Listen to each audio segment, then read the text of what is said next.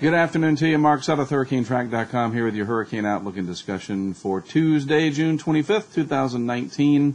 Pretty short today as there is not much to talk about, but there are a few things to discuss as always. And so let's get to it, shall we? We'll get rid of the picture of me for a moment. And let's start off here. Going down to Australia, the land down under the Bureau of Meteorology um, part of the Australian government, their BOM, Bureau of Meteorology, and their ENSO wrap up. El Nino Southern Oscillation Update, this was issued today, and they will issue another advisory or update on the 9th of July. And what do they say? Well, we can look at a couple of things. First of all, check this out, if this will open for me. The ENSO outlook is now inactive meaning that the immediate likelihood of El Nino developing according to their parameters has passed, with ENSO neutral being the most likely scenario through the southern winter, southern winter and spring. So that's it, according to the Bureau of Meteorology, uh, which has a different set of criteria, not vastly different than does the United States-based Climate Prediction Center but the uh, Australians here declaring that El Nino, um, it, it, to them, it never happened. We weren't quite there yet, and it's not going to happen, at least not yet. And uh, so they say that the ocean and atmospheric indicators are now largely at ENSO neutral levels. So that means a lot of things for a lot of places around the globe. And in terms of Atlantic hurricane activity, this would suggest no appreciable impacts from the Pacific El Nino event, which seems to be inactive, right? Um, on Atlantic hurricane activity. So it seems that all systems would be go for us to have a normal season. No major inhibitors uh, out of the usual. Does that make any sense? I hope so. At least not from an El Nino perspective. Now, again, the United States has a different way, and the Climate Prediction Center it's not that much different. It's just a little bit lower um, anomaly, about a half a degree Celsius is what the Climate Prediction Center considers El Nino threshold and for a certain period of time. And I'm not going to get into the details today. This is just something interesting. People were talking about it on Twitter. So I thought I'd bring it up here. All right. So there you go. So let's take a look at what's happening in the Atlantic, which is nothing. And you would expect that for June 25th.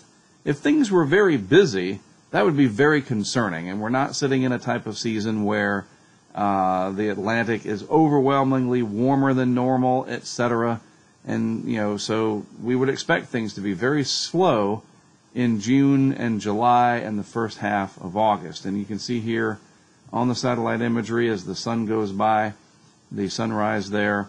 Um, that line, by the way, between the light and the dark, right there, we chase it across that's called the Terminator, in case you didn't know that.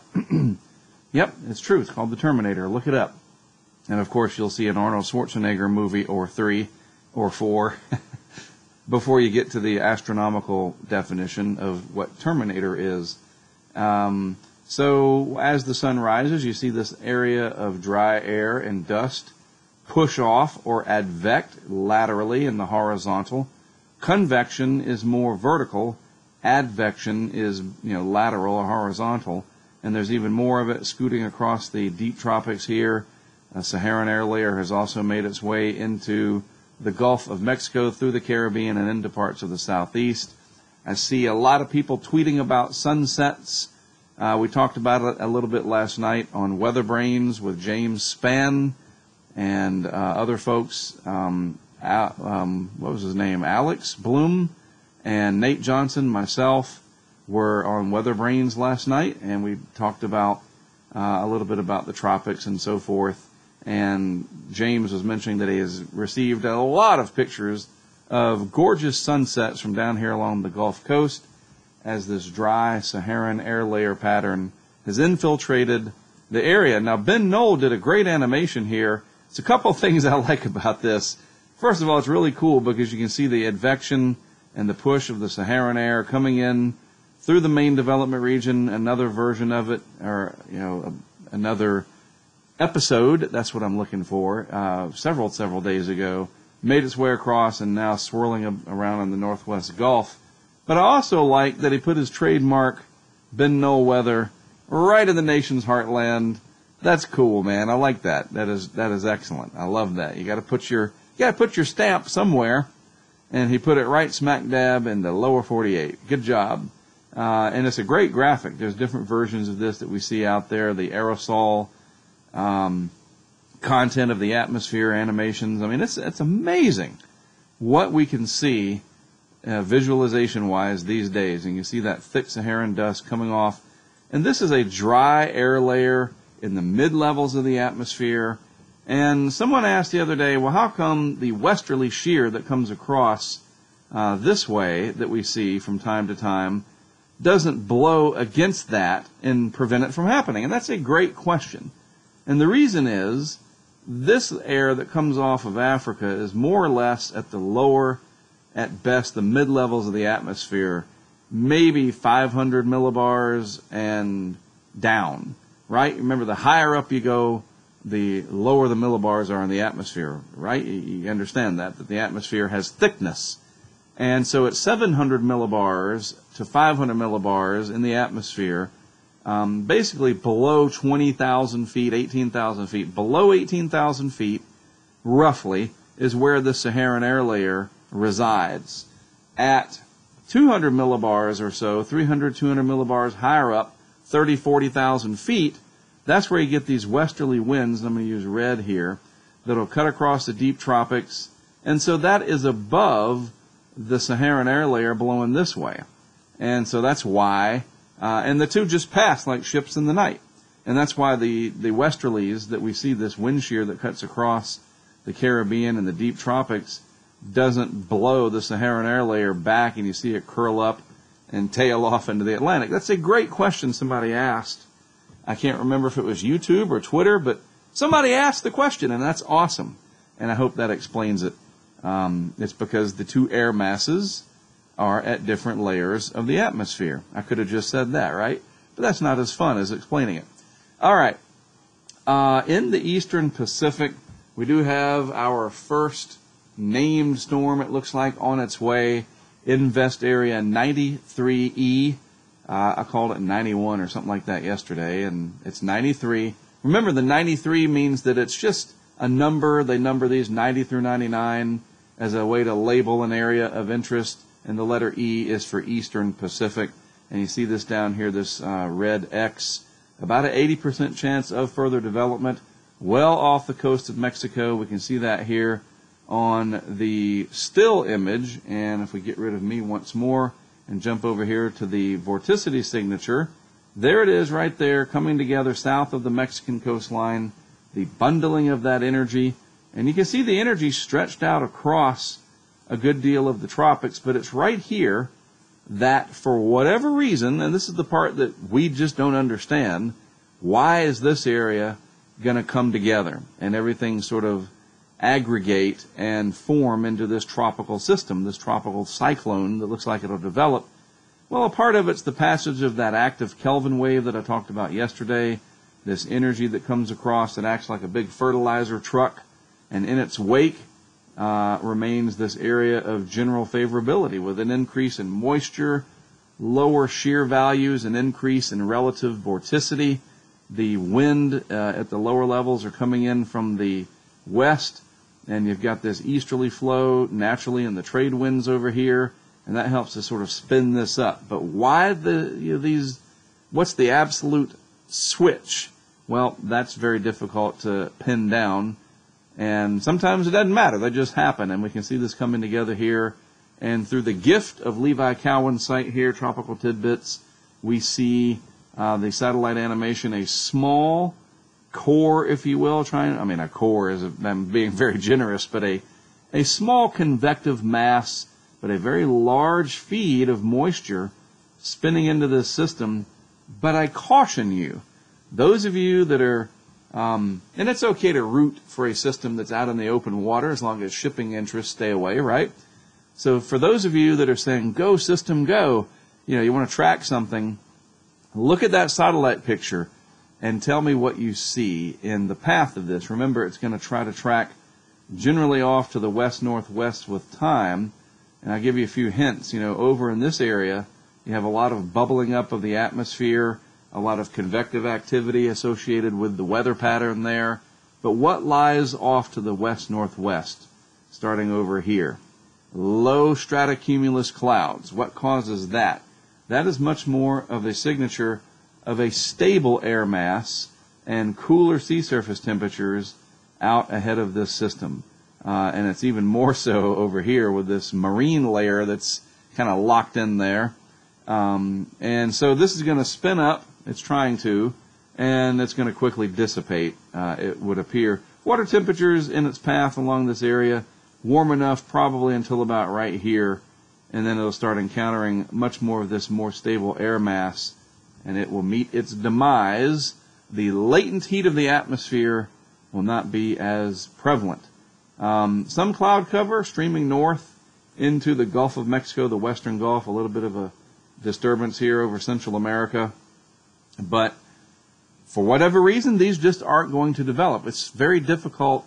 You, you say, look, you see this convection. Ooh, there's a system here. Maybe that's going to do something. Maybe this will do something. But for whatever reason, the tropics don't, and I think this is a good thing, obviously, they don't just pop everything that has structure to it. And when we go back and look at the vorticity signature. There's really not that much energy out over the Gulf even though there is some cloud cover, it's trying to concentrate and do its thing right here, the bundling of the heat in one area. We can't, we're not like Jupiter where there's storms everywhere. And we're a much smaller planet than Jupiter. All right, real quick, I'm going to be heading out shortly after posting this video. Uh, I'm down here in the Wilmington, North Carolina area, and I'm going to make my way up Highway 17 through New Bern, Washington, and uh, up to actually there's a shortcut over here, and then I'm going to head out along 64 to the Outer Banks, and I'm going to go down here to Rodanthe, where we have a nest cam uh, that is set up on a house of a good friend of ours, good friend of mine personally, and a friend to Hurricane Track as a whole. And I'm going to go up there and kind of reposition that nest cam so that it sees more sky and uh, do some other things to, you know, weather it make it weatherproof. Well, the Nest Cam itself's in good shape, but if you plug anything in on the Outer Banks, you know how it is, that salty air. When you have an outdoor plug, you got to do stuff to weatherize it. And I'm going to be taking care of that to make sure it lasts and we don't have any shorts out there that doesn't short out. So I'm going to be heading up to Rodanthe and along the way, starting, I don't know, about an hour from now, maybe less, that, well, depends on when you watch this video. Right now it's about 2 p.m. Eastern. So by 3 p.m. Eastern, I'm going to stream live. Uh, I'm testing a new, let me put me back on for a second. I'm using an old iPhone 8 to stream live to YouTube, and I've done that for a couple of years now, but the problem has always been that it gets warm while it's encoding. And it actually gets very warm. And if you're in a hot vehicle or the sun shines on it at all, and people who stream from their vehicles using phones, they know about this. They, they get really hot and it'll shut off. And uh, it did that last year during Hurricane Michael. We had it set up early that morning of October 10th. And you know, we had several thousand people tuned in. And when we got back to the hotel from setting up the uh, GoPro at Mexico Beach, there was almost 5,000 people watching. And I remember we closed up the Tahoe, Brent and I did. The other Tahoe, we have two Tahoes. If you're wondering, well, is Tahoe's working again? We have two Tahoes. One that's not working anymore, it's retired, and another one that looks exactly like it that a good friend of ours purchased for us. Same make and model and everything, same year, but it just doesn't have half a million miles on it. And we use that for uh, for Michael. Um, and it too is starting to get a little too old. But anyway, back to the story. We uh, I just didn't want you to be like, wait a minute, I thought you didn't have the Tahoe anymore. We kind of do. It's just a different one, um, but it's not brand new anyhow, we closed it up and went inside to talk about what we were going to do with the weather balloon and all that kind of stuff, and which turned out to be nothing because Michael, of course, made landfall a few miles too far to the east. But the iPhone stayed on the dashboard. It's raining. The hurricane's coming. It's not like the sun was shining, but there's no AC running.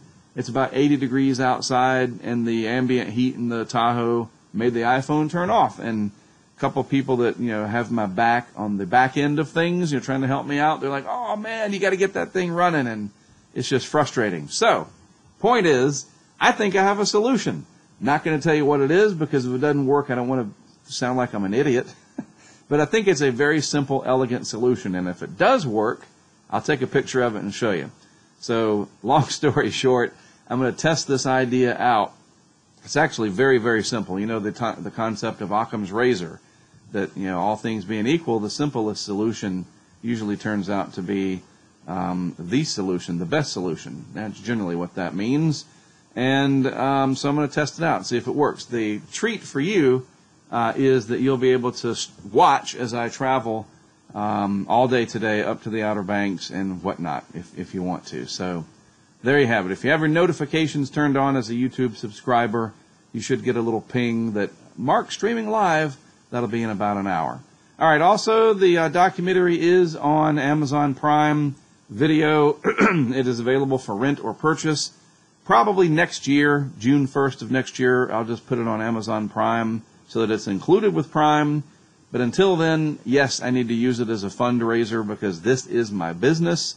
And in addition to Patreon and um, this, you know, what else? I got to earn an income, right? And I'm going to tell you what, the people that have bought this or rented it, thank you. And your remarks on social media and uh, the reviews that people have left down here, you know, I didn't do these. And a lot of these people, I don't know who they are. These are strangers and um, I appreciate it. And if you haven't had a chance, check it out. Tracking the Hurricanes 2018, absolutely incredible, especially the ending.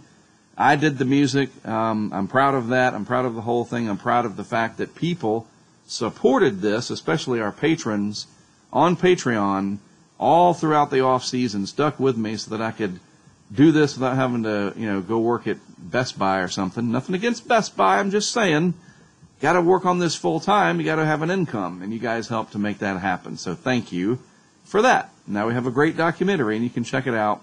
Amazon Prime Video, tracking the hurricanes 2018. And by the way, the 2017 version is also on there, and it is included with Prime. And you can just watch it if you got Prime. If not, it's available for a couple bucks to rent. All right, I'm done. I am Mark Sudduth, HurricaneTrack.com. As always, I appreciate your time and attention watching and listening from the other side of whatever device screen you have. I appreciate it. I'll talk to you again, let's see, probably Thursday. Well, of course, I'll see you on the road as I travel up to Rodanthe, but we'll be back here with another update on Thursday.